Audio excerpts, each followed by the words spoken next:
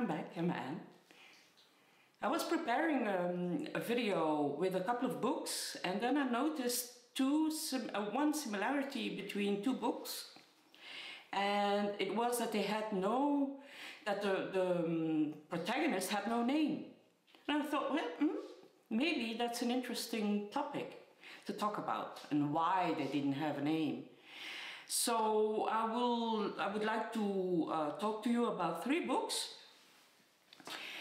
Uh, two of them written in the same time frame or the same around the same time and a third one a little bit later and uh, one is by an uh, Austrian writer, one is by um, an Argentinian writer, and the other is um, an English writer, a very well-known English writer. So the first book that I would like to show you is The Wall by Marlen Haushofer. This book was written in, in 1963, I believe, and the female uh, main character has no name. She wasn't given any name. And in fact, nobody in the book, or the very few people that are in the book, have no name.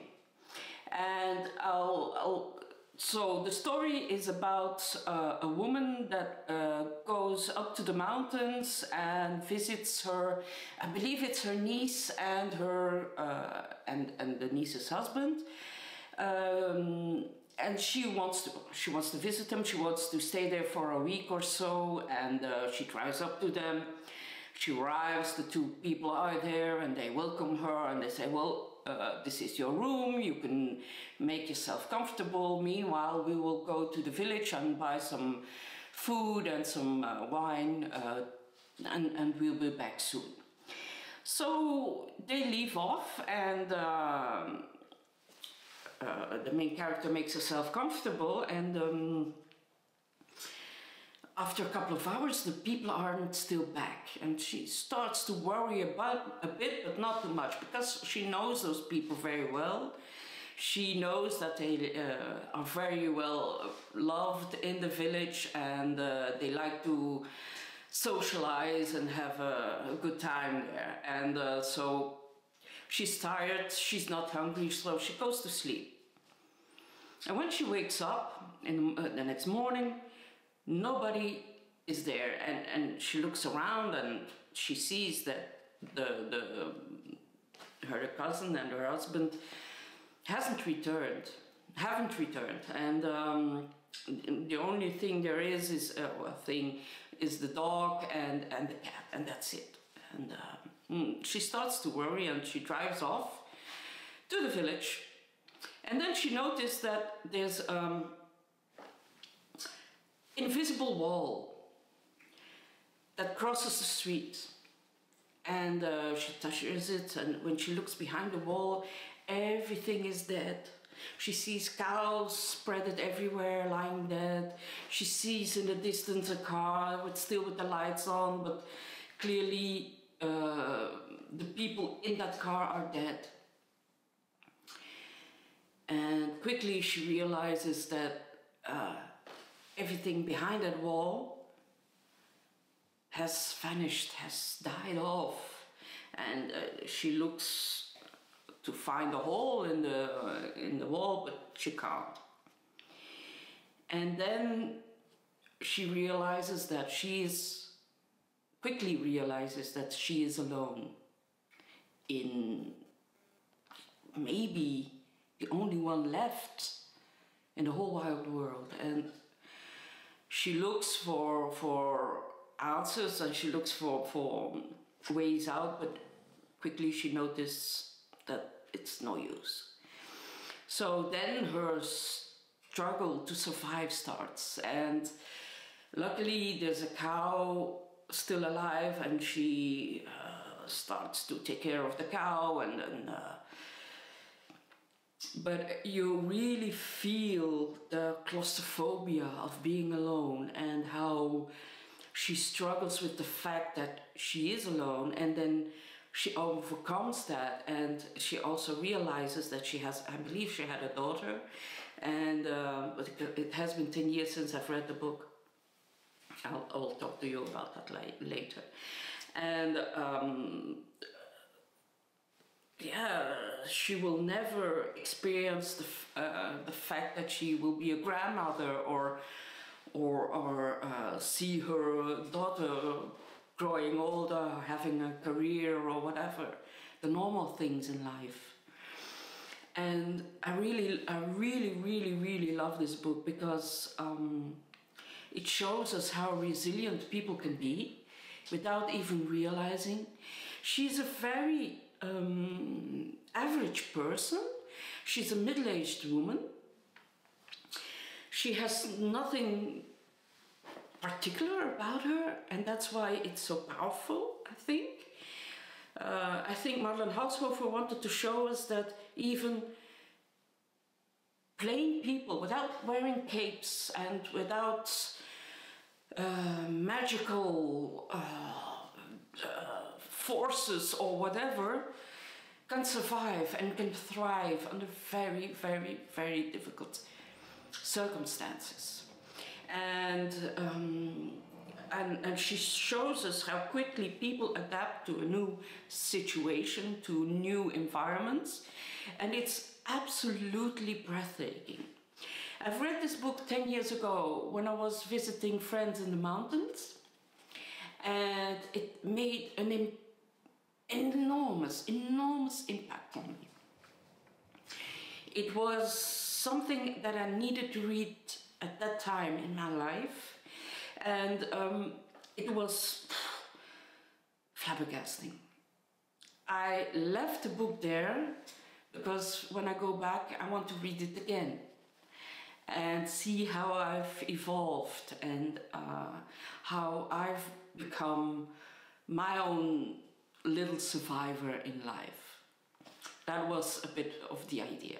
So, why is she nameless? Well, it's not important because she's alone. And why are her niece and her nephew, well, her, her um, the husband of the, the niece unnamed? It isn't important either. There's no one. She's left alone, and it emphasizes and it makes it even the feeling of being alone even stronger because you don't need a name if you when you're alone. It's just you. That's it, and that makes it a very, very, very strong book. It's um, I believe. Wait, wait, wait. I've written it down. It's um, translated by Shaun Whiteside, and it came out in English the first time in 1999. So you must be able to find uh, an English copy, or if you can read German, read it in German.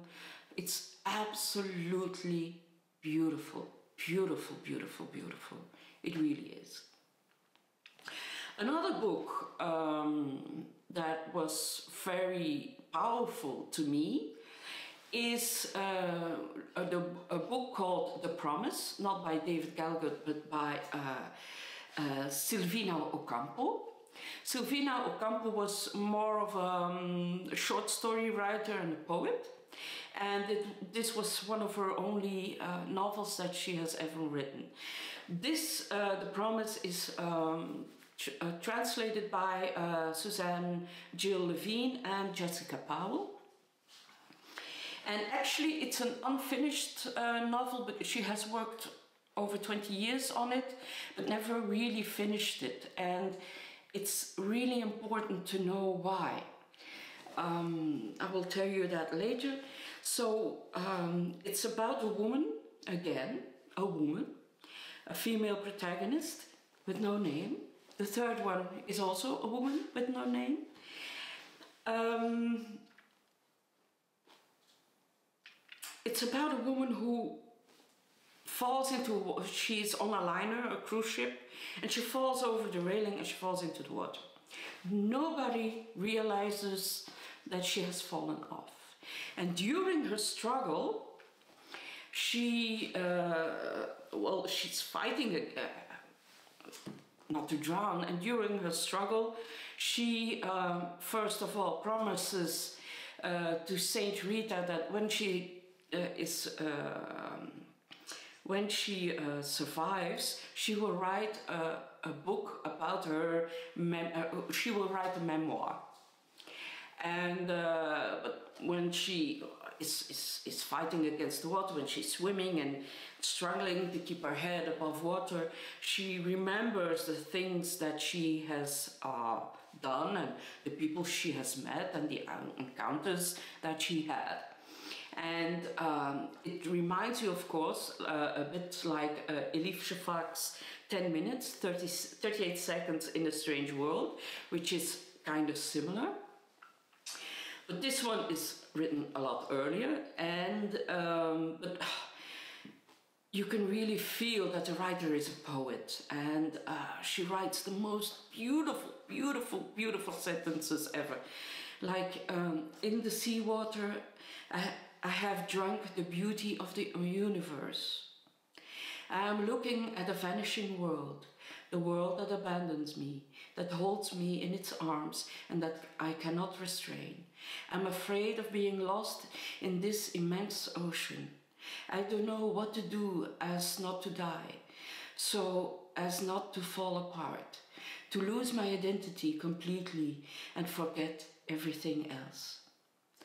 Beautiful, beautiful, beautiful. Ah, ah that's the reason why I love to write, uh, to read so much.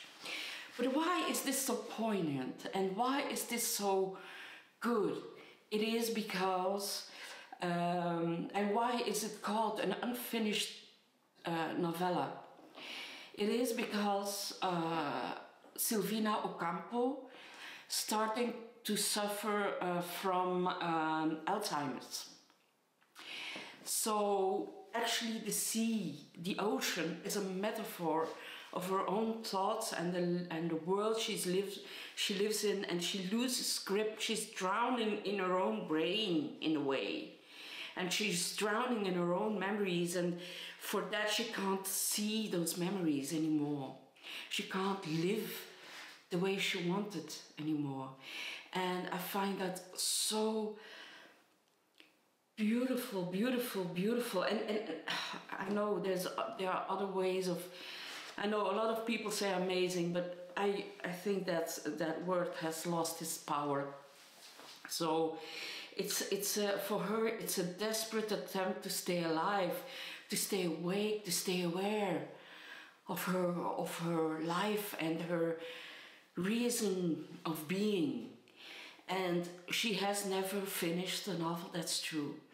And you see that uh, the first two parts of the book are amazingly written, and you feel that um, the the last part is less powerful, less um, poetic, and uh, but when you realize that when you have that in your afterthought, in your in the back of your mind, it gets even more and more powerful. So. Um, the Promise, Silvina Ocampo. Read it. Beautiful. Oh, amazing. There it is. Amazing. Awesome. Ah, there it is. So, yeah, read it. Third book, and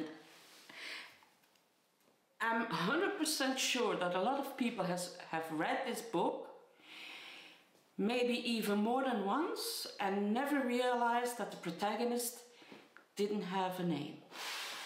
And the book is Rebecca by Daphne du Maurier. Rebecca is needs no introduction. It's a beautiful book. It's a there I am again. It's a spellbinding book. It is um, it has a lot of powerful characters in it, uh, like Mrs. Danvers, Mr. De Winter, even the dead Mrs. De Winter, and even um, the house itself is a powerful uh, uh, character, Manderley, even that has a name. But in fact, the main character, the, the, um, the new wife of Mr. De Winter, has no name. She meant, uh, it gets mentioned a couple of times there where she says, I believe, uh, oh, for, uh, she receives a letter and uh, she says, oh, for the first time, uh, my my um, name is spelled correctly. Or uh, there's somebody who says, oh, such a uh, quaint name you have, or such a strange but um, sensual name you have, or something like that. Don't, don't quote me on that. It has been a very long time since I've, I've read this book. But it's a way for Daphne du Maurier to show that um, she really is uh, living in, in the, in the sh shadows of the late Mrs. Danvers and she is nothing like Mrs. Danvers and she's a nobody like when you compare her to Mrs. Danvers. Of course she is, but it was a way for Daphne du, Maurier to, to make that feeling even stronger. And I find that very powerful. It, it shows her difficulty with being the other woman, being the second, the second woman, the lesser woman, the, the unimportant woman, the, the one that doesn't matter, the one that uh, life doesn't evolve around. And I, I found that uh, very powerful. And she did it, um, Daphne du did it so subtle and so that even when you don't realize that uh, that uh, the, the main character doesn't have a name or it's never mentioned, the name is never mentioned, that makes it even stronger. Voila! That's my uh, little thoughts on uh, nameless um, protagonists. There's, there are much more nameless protagonists, but sometimes they are named uh, uh the nameless one, or Mr. X, or Mrs. X, or Mr. Blue, or Mr. Pink, or, or um, I believe. Um, there's another one, nameless uh, character, but that's a very short, short story. Uh, the yellow wallpaper. There too, the woman, again a woman, is nameless. And the only man I can think of out of the top of my uh, head is uh, the Invisible Man. But then again, he was invisible, so he doesn't need a name. Um, yeah, Tell me, um, do you know any nameless characters that don't even get um, a name like X or uh, the hunter or uh, the, the, the, the nameless one or whatever, the nameless boy or just his name or he his name isn't mentioned at all and not even referred to as something? Tell me. I would like to hear. Talk to you later. Bye bye.